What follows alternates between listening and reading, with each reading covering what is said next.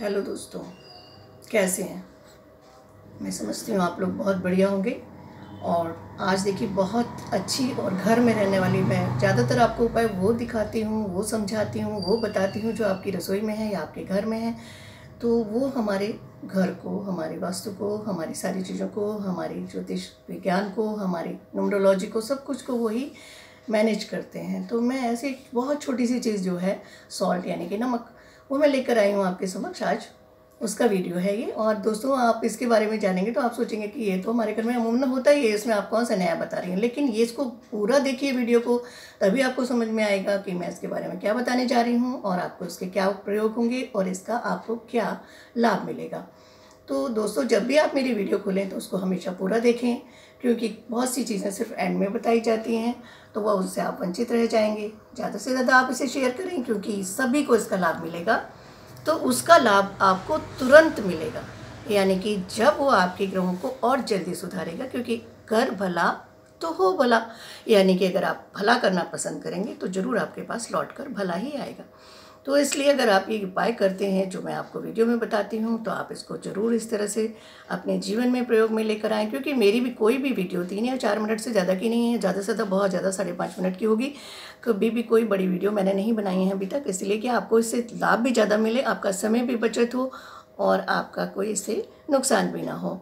तो देखिए, आज हम नमक के बारे में बात करें तो अगर आप मेरे चैनल पर नए हैं तो प्लीज़ सब्सक्राइब कीजिए और इसे ज़्यादा से ज़्यादा शेयर कीजिए और आपको अच्छा लगता है तो प्लीज़ उसको कभी भी आप very nice good comment good आप दे सकते हैं इसको वेरी गुड तो इसलिए मैं आपको सबसे पहले बताती हूँ, हम एक सिंपल नमक यानी कि बड़ा नमक यानी कि साबुत नमक। इस तरह का नमक ही पहले हम लोगों के घरों में आता था और इस नमक को ही हम सभी हमारी दादियाँ, हमारी मम्मियाँ इसको पीसा करती थी और पीस कर ही इसको हम घर में प्रयोग लाते थे। आयोडीन नमक अभी चला है और अब हम उसको इस्तेमाल करने लगे हैं।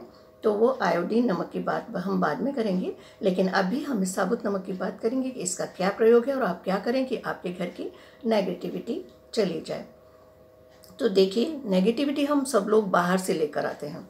जब भी हम बाहर जाते हैं काम पर जाते हैं हमारी फैमिली में सब सदस्य बाहर जाते हैं कभी हम बाज़ार जाते हैं कभी कुछ सामान खरीदने जाते हैं हमारे बच्चे स्कूल जाते हैं या फिर हमारे बच्चे कहीं घूमने जाते हैं या फिर हम पिकनिक पे जाते हैं या फिर हम बाहर जाते हैं तो जहाँ भी कहीं हम जाते हैं तो नेगेटिविटी को अपने साथ लेकर आते हैं हमारी पॉजिटिविटी हम बाहर छोड़ कर आते हैं तो उसे हम घर में ना लाएँ तो ये तो पॉसिबल नहीं है लेकिन हम उसको दूर कैसे करें ये पॉसिबल है तो इस वाले इस नमक को आप क्या करेंगे कि साबुत नमक को आप लेकर के आप अपने घर के दक्षिण के कोने में इसको इसी तरह ग्लास में भरेंगे और इसे छोड़ देंगे। इसे आप टॉयलेट में रखेंगे और इसे इसी तरह छोड़ देंगे कांच के बर्तन में। किसी भी कांच की कटोरी में आप इसे रख सकते हैं। केवल आपको रखना हमेशा कांच की कटोरी में चाहे नमक कोई सा भी हो।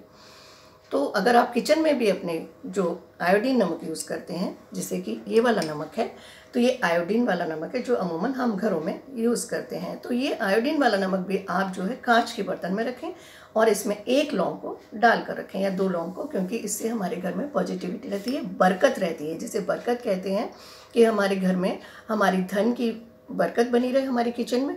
इस तरह से ये जो नमक है, इसको हमें कांच के बर्तन में रखना है और ढक कर रखना है।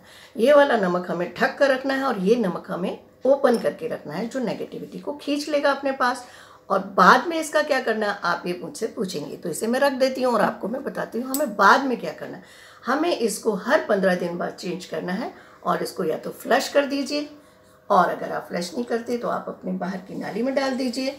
इसको आप डिस्पोज कर दीजिए। ये नमक आप पंद्रह दिन बाद फिर से इसी तरह इसमें भरेंगे और इसको आप अपने घर की, हर घर के कोने में रख सकते हैं आप। घर में, कमरे में, हर कोने में भी आप रख सकते हैं, बाथरूम में रख सकते हैं, किचन में रख सकते हैं, सब जगह आपको इतना नमक कम से कम डाल के रखना है। यानी कम से कम दस डली, पाँच डली छः डली जितना आप सुविधाजनक लगे रख सकते हैं।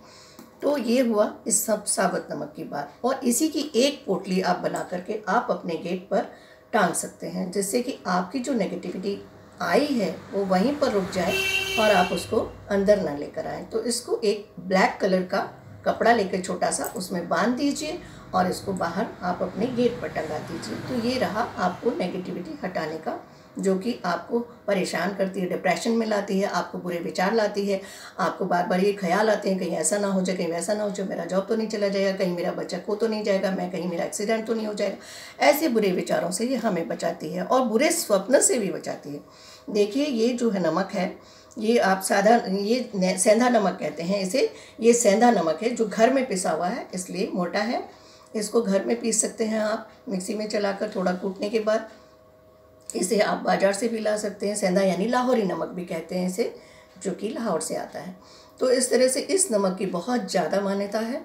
इस नमक का आप प्रयोग बहुत ज़्यादा मात्रा में आप अपने घर में करिए, क्योंकि आजकल जो नमक आयोडीन का करते हैं, उससे हमारा बीपी बढ़ जाता है। इसलिए हमारा बीपी ना, सामान्य रहे तो ये हमारे लिए हमारा ब्लड प्रेशर को रोकता है और इस नमक की आप जो है खाने में यूज़ करेंगी। खाने में यूज़ करेंगी तो आपको पॉजिटिविटी भी देगा बीपी को नॉर्मल रखेगा, आपका जो है रक्त का संचार बढ़िया रहेगा तो आपका अच्छे से सारा दिन कटेगा, आपको कोई गोली भी नहीं खानी पड़ेगी। इसलिए आप जब भी खाना बनाते हैं तो इसको अवश्य यूज़ करें। एक ये इसका उपयोग हो गया, जब भी आप काढ़ा बनाती हैं तो थोड़ा सा नमक इसमें ज़रूर डालिए, जैसे कि हल्दी का काढ़ा, यानी कि जैसे हल्दी है, हल्दी आप सभी जानते हैं, टर्मरिक होती है, इसको आप यूज़ करते हैं तो हल्दी का काढ़ा, उसमें थोड़ा सा सेंधा नमक और थोड़ा सा लौंग डालते हैं आप और पीस कर उसमें कम से कम दस बारह लौंग डाल दीजिए। उसमें आप दालचीनी डाल दीजिए एक टुकड़ा और उसके अंदर आप डाल दीजिए एक गिलोय और उसमें डाल दीजिए तुलसा पत्ता और उसको आधा रहने तक बनाइए और उसे पी जाइए, जिससे कि कोई बीमारी नहीं आएगी, कोई महामारी नहीं आएगी, ना डेंगू होगा कभी, ना फ्लू होगा कभी, ना जुकाम आएगा, ना खांसी आएगी, ना कोरोना आएगा, ठीक है ना?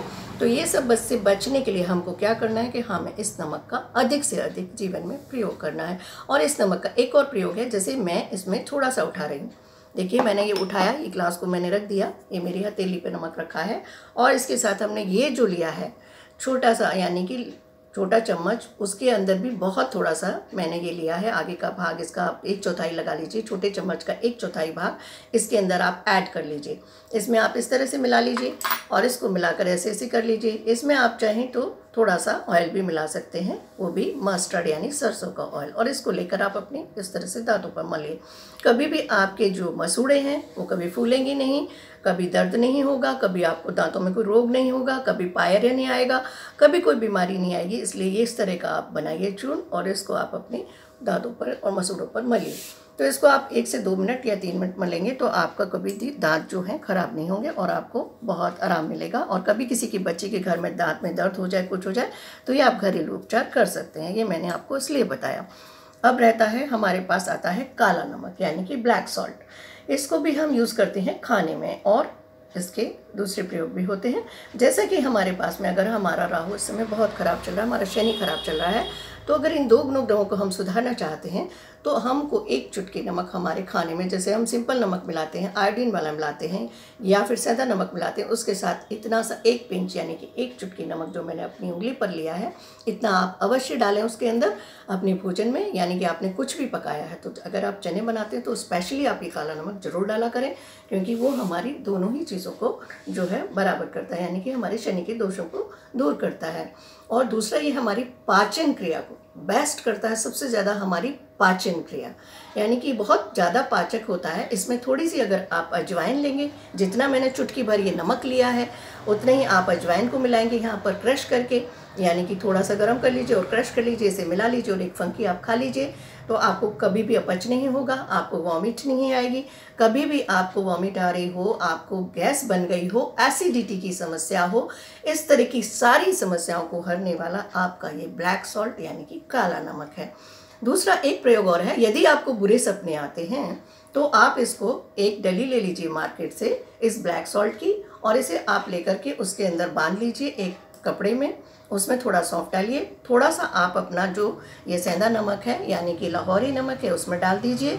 इसका भी आप एक टुकड़ा डाल सकती हैं और उसे बाँध कर अपने सिराने रख दीजिए। आपको कभी बुरे स्वप्न नहीं आएँगे और कभी बच्चे आपके डरेंगे नहीं। डर कर जैसे बच्चा उठ कर एकदम चौंक जाता है और बहुत तेज चिल्लाता है। इस तरह से कभी नहीं होगा। घर में अगर आपके कोई नेगेटिविटी होगी, वो भी चली जाएगी। आपको एक अच्छी नींद, यानी कि गुड आप फीलिंग करेंगे नींद में और बहुत अच्छे स्वप्न भी देखेंगे। इसलिए आपको ये नमक अपने सरहाने बाँध कर रखना है। ये है काले नमक का आपका प्रयोग। तो इस तरह से अगर आप काले नमक का दूसरा अगर प्रयोग करते हैं और इन सभी नम, नमक जो मैंने आपको अभी तक चार तरह के नमक दिखाए इनका प्रयोग करते हैं जीवन में तो आपको बहुत ज़्यादा सफलता मिलेगी। कभी भी अगर आप कहीं जा रहे हैं और वापस आ रहे हैं तो आपको एक मुट्ठी जैसे बच्चा आपका बाहर गया है तो जो नॉर्मल नमक यानी कि हम करते हैं यूज़ करते हैं अपने घर में, यानी आयोडीन वाला नमक करते हैं किसी भी कंपनी का तो उसको एक मुट्ठी आप भर लीजिए इस तरह से। मैंने भरा है, ये मेरी मुट्ठी में बंद हो गया है। इस तरह से एक मुट्ठी नमक लिया और उसके अपने ही सिर से आप अगर बाहर गए थे तो एक मुट्ठी नमक इस तरह उतारिए और इसको आप अपने वॉश मशीन में इसी तरह चला दीजिए, क्योंकि नमक को कभी भी ज़मीन में नहीं गिराना चाहिए। नमक को ज़मीन में गिराने से कहते हैं कि आपको बहुत दोष लगता है और उसके बाद हमारे पुराणों में लिखा है कि आपको ये पलकों से उठाना पड़ता है। इसलिए जो है, आपको इसको कभी ज़मीन में नहीं गिराएँ। और अगर आपको पोछा लगाना है अपने घर में तो थोड़ा सा आप जो ये मैंने लिया था सेंधा नमक, ये ले लीजिए और थोड़ा सा नॉर्मल नमक जो कि आप डेली खाते हैं, ये ले लीजिए। इसमें आपको एक एक मुट्ठी दोनों नमक उठाना है इस तरह से। ये मैंने सेंधा नमक लिया, एक मुट्ठी आप इसमें से उठाइए। और इसको रात को आप एक डिब्बे में या किसी भी पात्र में जिसमें कि आप पोचा लगाती हैं, उसमें रात को डाल के रख दीजिए। और उससे मंगलवार के दिन स्पेशली आप पोचा लगाइए। आपके घर की सारी नेगेटिविटी जो आप बाहर से अंदर लाए हैं, या मेहमान लाए हैं, या घर पे आप लेकर आए हैं, या आपके शूज़ और चप्पस में आ जाती है, आपको बीमारियाँ देती है, आपको परेशान करती है, वो सब दूर हो जाएगी और आप इससे पोचा लगाइए। आपका घर हमेशा पॉजिटिव फील करेंगे। तो ये था दोस्तों, बहुत ही आसान और बहुत सिंपल और हर कोई कर सकता है, ना इसमें बहुत बड़ा खर्चा है कोई भी। जो भी मैं आपको उपाय लेके आती हूँ, कोई खर्चा नहीं होता उसमें। आपके घर में चीज़ मौजूद होती है, उसे आप इस्तेमाल करिए और सुखी रहिए, संपन्न रहिए, आपकी हर इच्छा पूर्ण करिए और आपकी प्रत्येक इच्छा पूर्ण होगी। इसी तरह आप मेरे वीडियोस को लाइक करते रहिए, देखते रहिए। दोस्तों, आपके प्यार के लिए बहुत बहुत धन्यवाद। Thanks again. नमस्कार।